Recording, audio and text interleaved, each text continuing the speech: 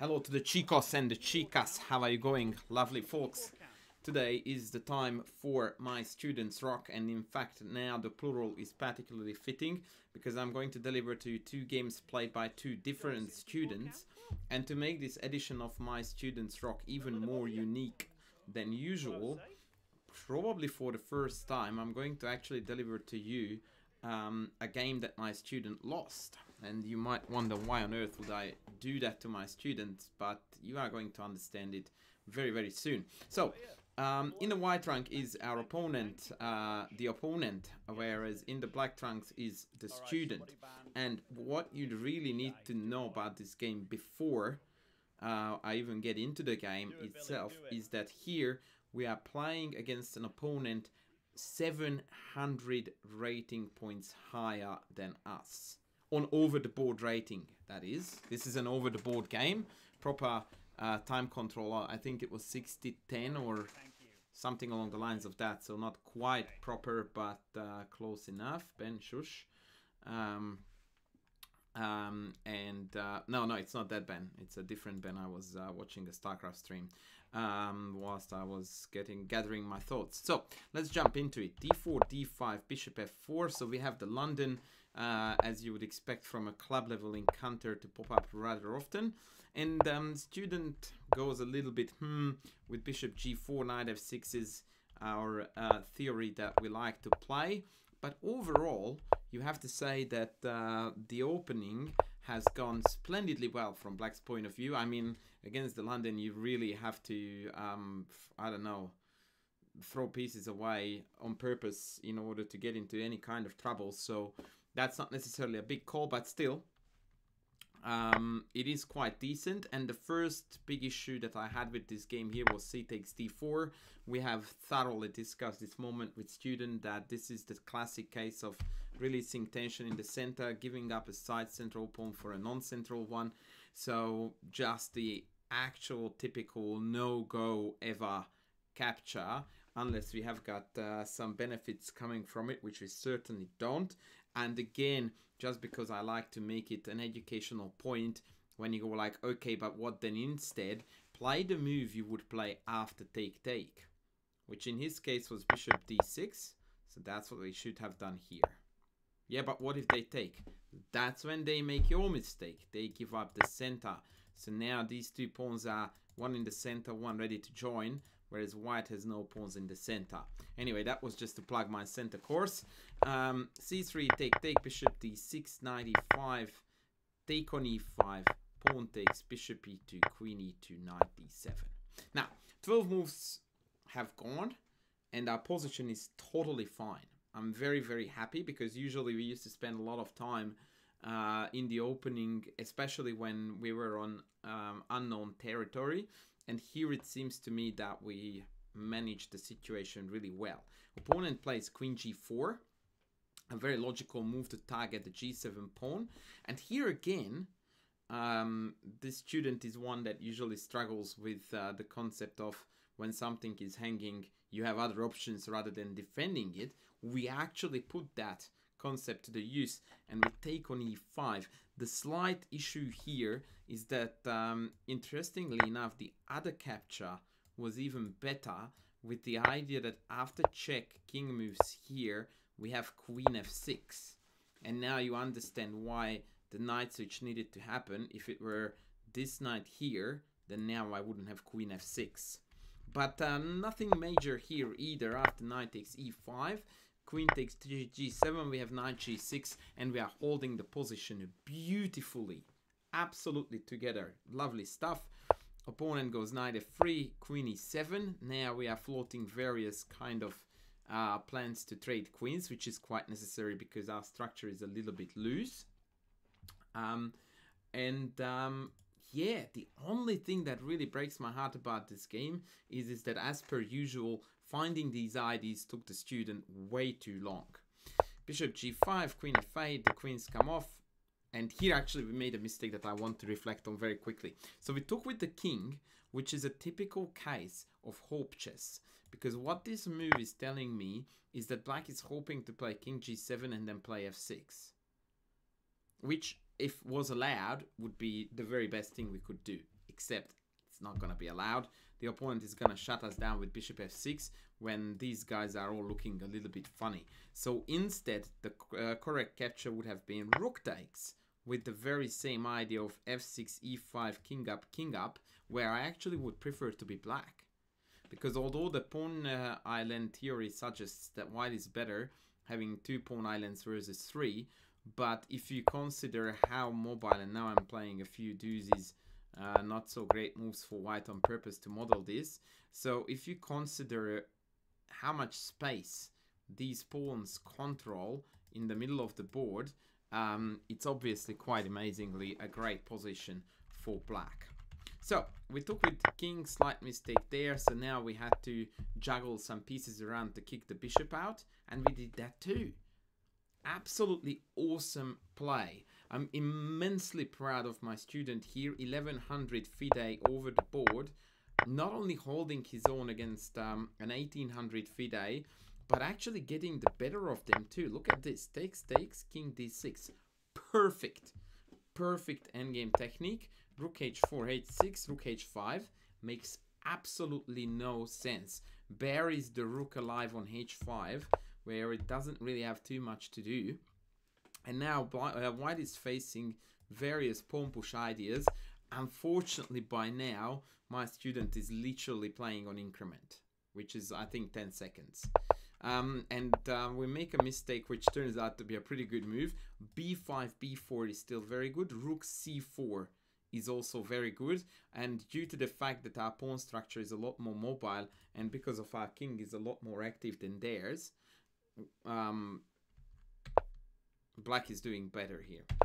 d4, a very curious blunder, because after rook d3, rook c4, it actually turns out that um, taking this is not even good, because after takes, takes, king here, um, actually, hang on, that is good.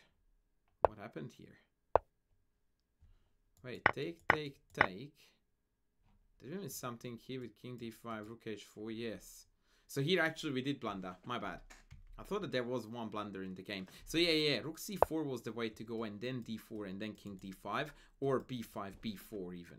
So this was actually a blunder, which is going to make my uh, point even better towards the end. Rook d3, rook c4, rook take, and then they don't take. That's insane. They played king d2, perhaps mutual time trouble, I don't know. King up, now all fine and dandy. Take, take, take, check, back. King c3, e5. And again, we are playing beautifully this rook ending. Rook f6. Admitted that the rook is a little bit annoying now. But the difference between the kings is still uh, a great trump in black's hand. And white blunders this time with g4, allowing us to take, take, and go check. A beautiful in-between move before we pick off the cherry on f2. And now white actually has to fight for life by king c3 and hoping for the best. Instead, they go king d3. Hello. And after rook b2, rook e5, the most tragic things happen that you could possibly imagine happening in this position. We lost on time. Which is well and truly heartbreaking because both king d6 and king b4 uh, are winning for black actually, which is hardly surprising because upon the falling of the a2 pawn we have got the two connected pass pawns, which is the god of rook endings, two connected passers. So that was it, man. That was 700 rating points difference, and the worst we ever stood in the game is one point here where we blundered this pawn, which the opponent failed to exploit, and then they blundered it back literally five moves later here. And what really hurt me about this game was that after the game, the opponent said to my student that they were winning throughout the whole game. The nerve of the London player throughout the whole game. Like, where, bro? You came out of the opening with absolute nothing. Absolute nothing. Then we went into an end game, which is dead even.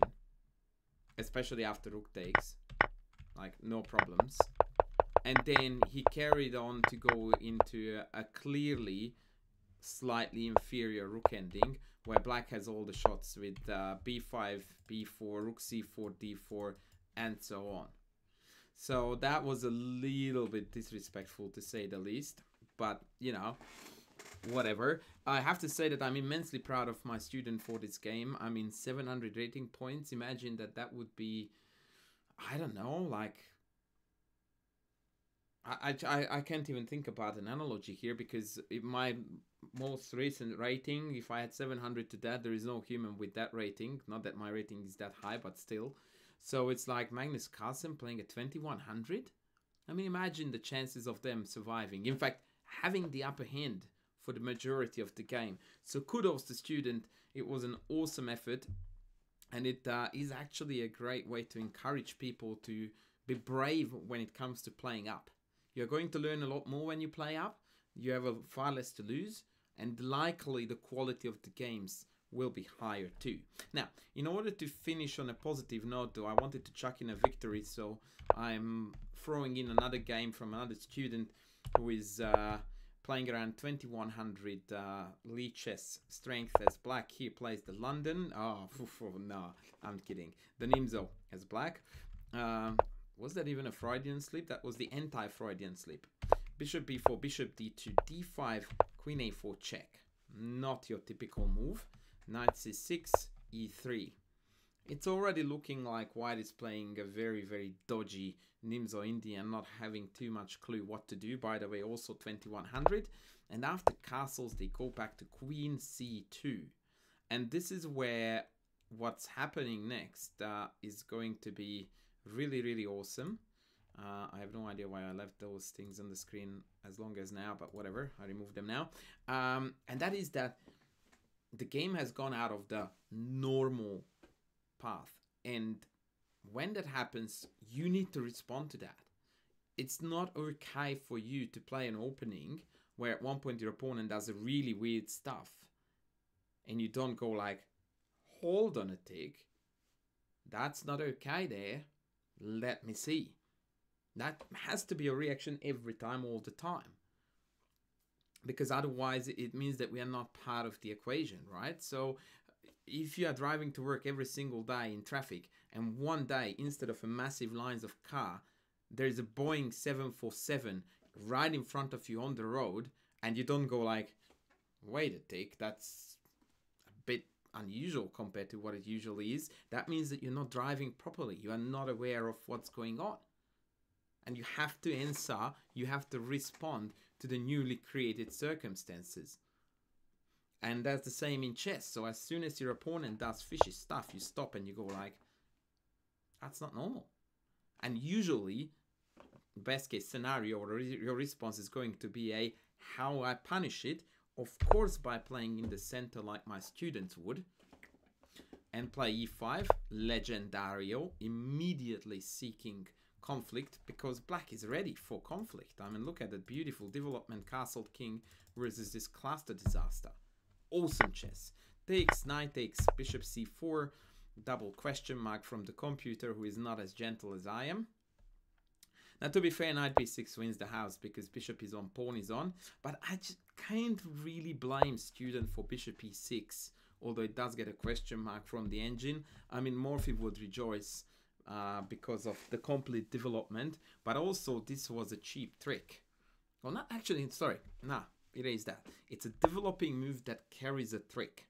And as such, it's fully valid, even if it's not as good as knight b6. And opponent, of course, falls for the trick da knight takes e3, and this is how you win chess games as black in 10 moves when your opponent is playing uh, openings coming from Weird's wheel. Takes, takes, and white is essentially lost. And that's the mentality that you need to acquire and follow in order to take certain steps ups on the ladder uh, when you are playing. And, and that's basically the fastest way uh, to move up. That anytime your opponent does something dodgy, you question it. Bishop takes d5, bishop takes e2. Uh, probably not necessary. I don't see why we couldn't just take this guy here. But again, we had plans. And that plan was to go into this opposite colored bishop scenario, which is going to be a beautiful opportunity for me to plug um, our second course that I'm making with uh, legendary chess grandmaster, greatest female player of all time, Judith Polgar. In the second course, which is not out yet but will be released not very far down the track, we'll have a very large chunk in it in which we discuss opposite colored bishop scenarios not only in endgames but in middle games too. A lot of people don't necessarily understand um, the secrets of uh, opposite colored bishop middle games and so this was a golden opportunity for me to draw uh, attract awareness to that. Queen g4 f5 we're really going for it but queen d5 again would have been a lovely move to um, showcase how versatile this queen is attacking this way attacking that way declining or rather denying castles that way attacking here defending here. That's an absolute boss. F5 on the other hand is awesomely aggro now we play queen d5 queen g3 f4 baby. Opening up the position in front of the king. Carnage is inevitable. They took and they got quickly mated. Awesome effort by another student. So this is guys this week's my students rock. I hope that we managed to take a little bit away from it although this is predominantly just an opportunity for me give something back to my students who do a lot of very hard work and they cop a lot of grief from me for all of their mistakes. But um, our goal together is always to make us a better chess player than what we were yesterday. So i suppose this is what it is. Thank you very much for watching. I will be back with more soon. Bye